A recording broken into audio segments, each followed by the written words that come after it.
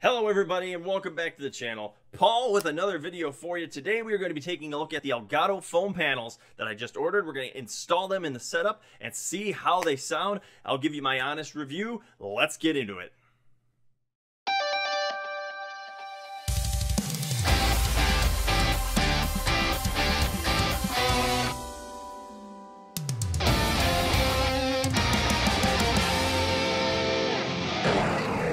Now these Elgato foam panels are supposed to allow for better audio, deadening of the sound, crisper audio, less echo off the walls. Now I have just moved my shelves here, which were on the wall here next to me just recently until today. I moved them today and now we have a nice blank wall, blank canvas to uh, install these Elgato foam panels on. wall right here might cause some echo. You might be able to hear it right now uh, in my, my voice. We're gonna see if once we get these foam panels installed if it helps the audio kind of soften and deaden it a little bit. Now this is the box that the Elgato foam panels arrive in. And yes, the Elgato foam panels are a hexagon, and so they come in a hexagonal box, which I find very, very interesting. So we're just gonna slice this open. They are also protected themselves in there. So let's open this. Once we have it open, you'll find this little wrapped area here, and these are going to be what we call the puzzle pieces. Basically, we're going to be constructing the shell, the, the, the skeleton, for these hexagons to enter or be placed on the wall. These are basically a skeleton that we're going to have to build. These I probably imagine to be clips of some kind. Oh, they're clips. Oh, and this, this is your, your mounting um, frames are what these are. Here's your little booklet. You can take a look at that if you want. But I want to I want to take a look at this foam.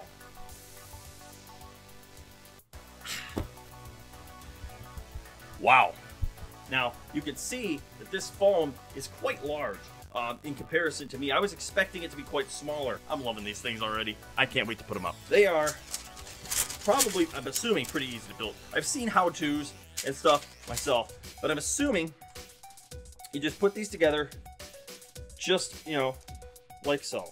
All right, so just like that, they connect just like so kind of do that. And I'll finish off this one and show you what it looks like. Just kind of take these two ends right here and you just pop them together with a little bit of force, a little bit of finger strength, but that's how you get them in there.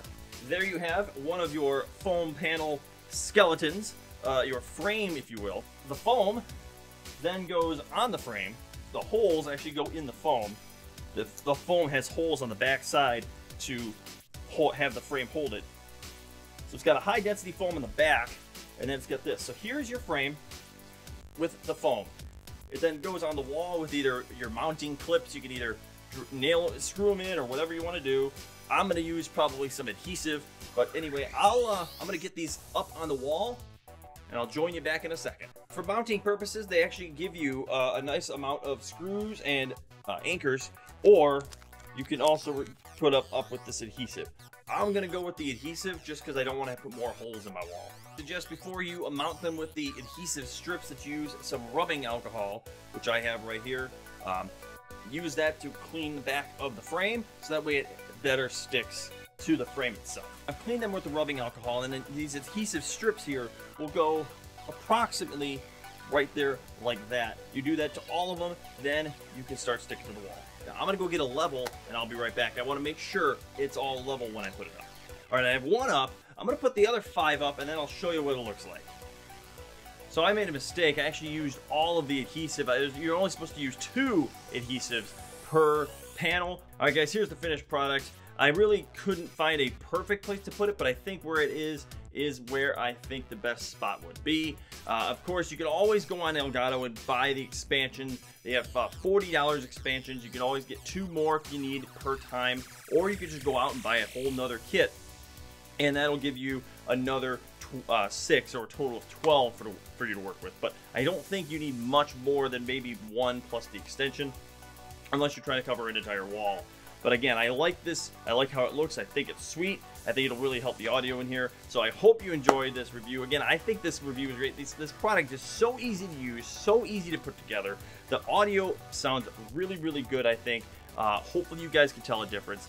So now that I'm back sitting down at my desk in my normal spot, I want to see how this audio sounds. I want to know what you guys think. I want to know what you guys are feeling if you guys notice a difference in the audio sound quality or not. But these this foam right here, I think it definitely will help a little bit.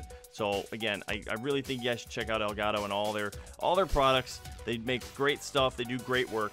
And uh, you can find them at Elgato.com or again, like I said, on Amazon or at some of your local retailers as well. All right, guys, that'll do it for me. Thanks so much for checking out the content on the channel. If you want to see more videos like this, make sure to check out the description down below. And also, please like the video, subscribe to the channel if you want to see more, and comment in the comment section down below as well. Thanks so much for watching. Appreciate it, and I'll catch you in the next one. Bye-bye.